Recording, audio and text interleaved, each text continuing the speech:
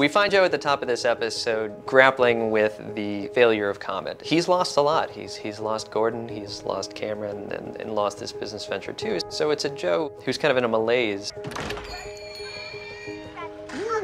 Oh, I'm sorry. Are you open? Or? It's like this very surreal kind of sequence of events that happens to him, like a dream. Destruction? Destruction. Yeah, commonly. Joe's like, yeah, that's my life. I can't, I couldn't have put it better if I tried. Not necessarily. Because you see this golden horizon behind the storm clouds.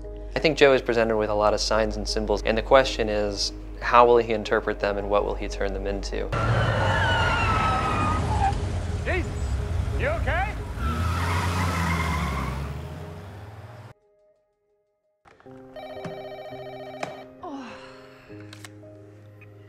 Hello? Hey, it's me. Hey. What's going on? I- Is everything okay? Can I just tell you something? Joni finally calls and wants to talk to Donna from her trip in Thailand. And the story that Joni shares is about this really beautiful experience she had that makes her understand and accept Gordon's death. And when I put my forehead to the mud, I thought about Dad. But he was still with me. It's a gift for Donna to have that affection and vulnerability from her daughter, this really beautiful insight about carrying people with you. I think maybe you and I were actually pretty similar, and maybe that's why we like, fight all the time. For the audience, we get the sense that Joni's going to be okay and that these two are also going to be all right. Calling card is running out. I love you, Mom. Bye.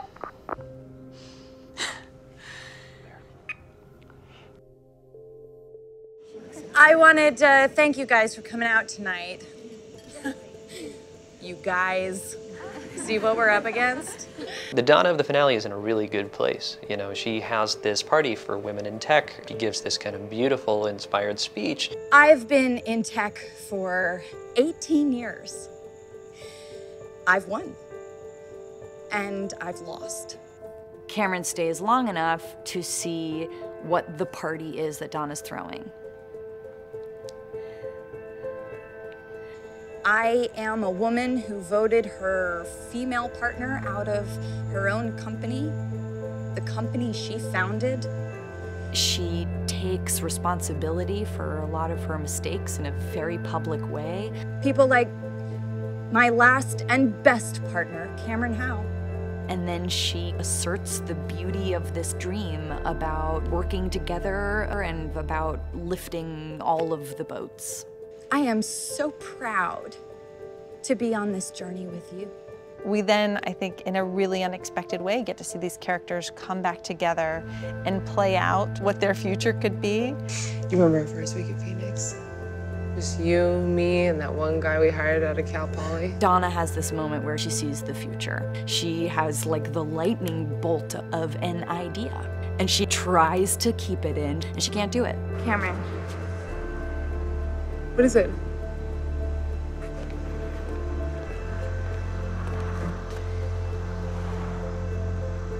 I have an idea. And if it's an idea that they can both like really feel passionately about, then I think that can be such a transcendent way for them to partner.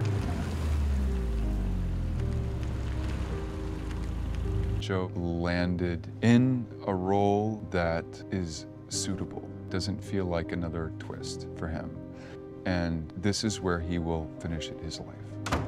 I think we see a guy who is humble at the end, but in a way that doesn't suggest loss, in a way that suggests victory. It feels like he's really settled down at the end and is able to walk into that classroom and connect with the people in front of him in the present moment. Something that was always incredibly difficult for him, but this entire 10-year journey has allowed him to learn the ability to do that. Let me start by asking a question.